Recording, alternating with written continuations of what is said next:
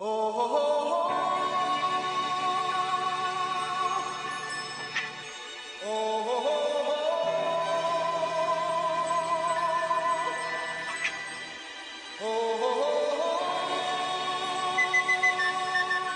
el polémico gol anotado a Deportes Temuco y que le valió el repudio de sus propios colegas y de todo el mundo futbolizado.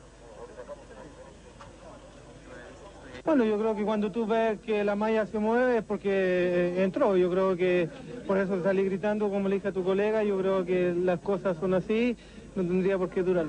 ¿Estás 100% seguro? Sí, lógico que sí, ¿por qué no? ¿Cómo va a tomar Deportes Concepción la defensa de Luis Chavarría este martes? Bueno, nada más que demostrar que, eh, si bien es cierto, tuvo una consecuencia muy desgraciada, ¿no es cierto?, como resultado de un partido, eh, la inocencia eh, en cuanto a Luis, de, de que no, no se da cuenta hasta que, después que se produce el hecho, o sea, es un error total y absolutamente involuntario. Pero aún faltaba por conocer la palabra de Luis Chavarría y lo que será su defensa este martes ante el Tribunal de Disciplina. El Chiqui apela que lo suyo no fue mala intención.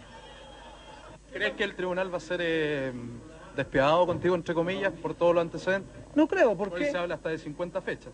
¿Por qué me van- no, no me pueden castigar? Porque yo en ese momento no, no inducí ni al árbitro a que, a que cometiera el error, porque lamentablemente él a lo mejor no vio que por dónde entró también. Por eso te digo, yo creo que, que la pelota en ese momento los dos vimos gol y después nos dimos cuenta que no era, así. Si no hubiese visto gol, ¿cuál hubiese sido su reacción? Porque quizá de fair play, de juego limpio. Yo creo que me había quedado ahí parado y no, no había hecho nada. No hubiese dicho nada. O sea, que... No, no, no. Me había quedado parado y a lo mejor si el árbitro me pregunta le digo que no es gol. Si yo le pregunto, usted no, tampoco nos, nos acerca. Pero yo creo que es difícil que un árbitro te pregunta, te pregunta a ti cuando te... Es lo mismo cuando te, hacen un penal y, y no fue, te, ¿le, vas, ¿le van a preguntar a los, a los jugadores? Yo creo que es lo, es lo mismo.